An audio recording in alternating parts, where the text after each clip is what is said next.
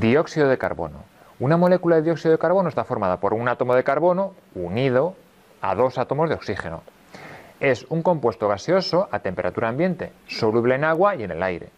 Se produce en los volcanes, en la respiración animal y vegetal y en los procesos de combustión. No debemos olvidar que las plantas también eliminan dióxido de carbono en el proceso de respiración, pero consumen mucho más en el proceso de fotosíntesis. El hombre, con la actividad industrial, transportes, incendios o su propia respiración, incrementa de manera no natural los niveles de CO2 en la atmósfera, contribuyendo a un aumento bastante importante del efecto invernadero.